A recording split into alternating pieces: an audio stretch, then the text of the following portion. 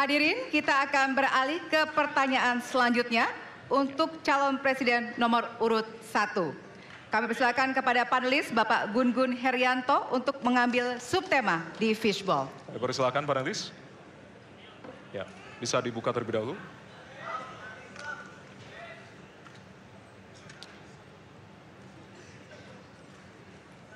Tema ketiga adalah penanganan disinformasi dan kerukunan warga. Baik, kami persilakan untuk selanjutnya kepada panelis Bapak Hairul Fahmi untuk mengambil pertanyaan di fishball.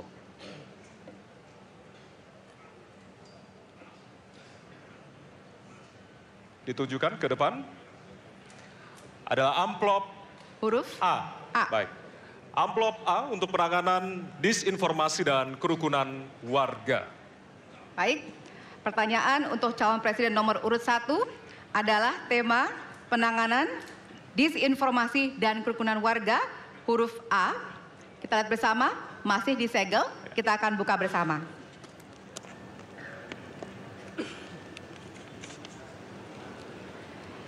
Sejauh ini masih banyak ditemukan kasus-kasus persekusi, kekerasan, dan diskriminasi oleh satu kelompok masyarakat terhadap kelompok lainnya. Pertanyaannya, apa kebijakan Anda untuk melindungi warga negara dan memperkuat toleransi dalam masyarakat Indonesia yang majemuk? Waktunya dua menit dimulai dari sekarang. Setiap pelanggaran hukum tidak boleh dibiarkan tak dihukum. Karena apabila dibiarkan, dia akan menular dan dia akan dianggap sebagai sesuatu yang benar. Karena itu langkah yang pertama adalah setiap kali ada pelanggaran dikerjakan oleh siapa pun, kapan pun, di mana pun, maka tegakkan aturan, tegakkan hukum. Nomor satu. Oke, yang kedua, yang kedua, ketika kita berbicara kerukunan, maka kita harus melakukan usaha berkomunikasi dengan semua. Negara tidak boleh memusuhi salah satu unsur yang ada di masyarakat. Nggak boleh. Negara adalah penyelenggara yang harus menjangkau semua.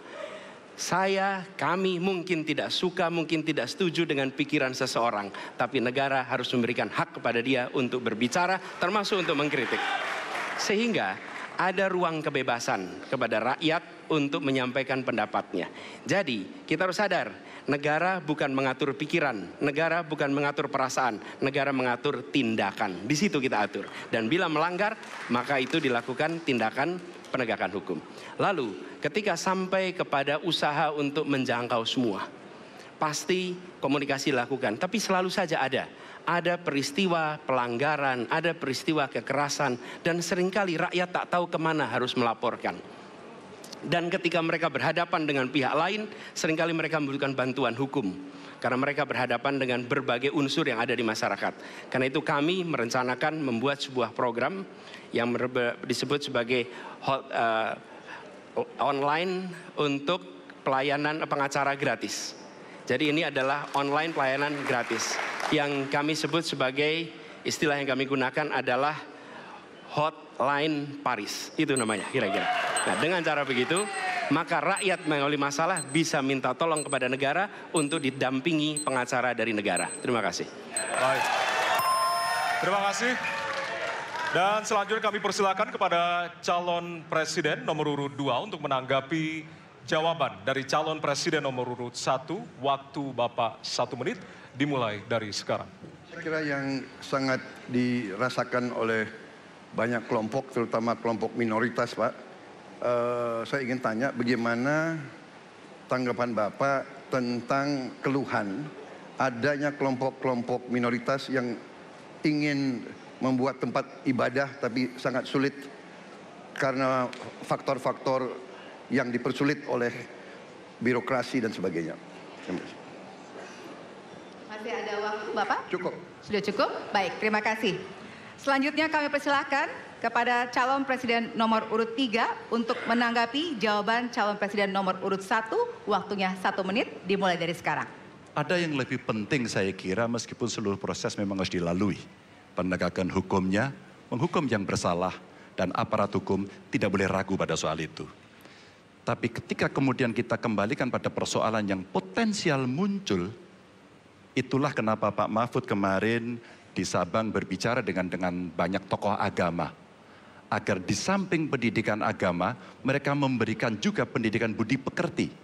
Agar kemudian dia bisa mengerti sejak awal bagaimana berbeda dalam suku, agama, golongan sehingga mereka akan bisa bareng-bareng memahami. FKUB, tokoh masyarakat semua dilibatkan dalam proses keseharian dalam pengambilan keputusan. Kalau itu bisa terjadi, rasa-rasanya bangsa ini akan membangun harkat dan martabatnya karena kita memang berbeda tapi kita dipersatukan. Masih ada waktu Bapak? Cukup. Ya. Dan selanjutnya, kami persilakan kepada calon presiden nomor urut satu untuk merespon tanggapan dari kedua calon presiden lainnya dan waktu Bapak satu menit dimulai dari sekarang. Terima kasih. Pak Prabowo perlu kami sampaikan bahwa ketika kami bertugas di Jakarta, maka ada begitu banyak izin-izin gereja yang mandek 30 tahun, 40 tahun dan tuntas dibereskan.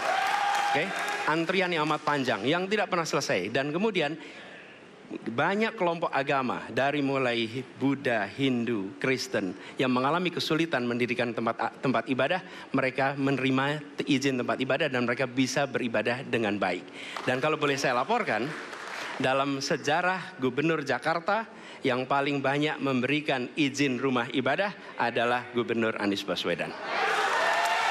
Termasuk Ketika umat Islam mau mendirikan masjid dan tidak bisa mendapat izinnya, saya bicara. Ketika umat Kristen mau mendirikan gereja tidak bisa mendapatkan izin dari masyarakat, saya bicara. Dan semuanya akhirnya mendapatkan izin untuk bisa beribadah. Terima kasih. Terima kasih. Baik, sudah cukup Bapak? Masih ada waktu? Cukup. cukup ya?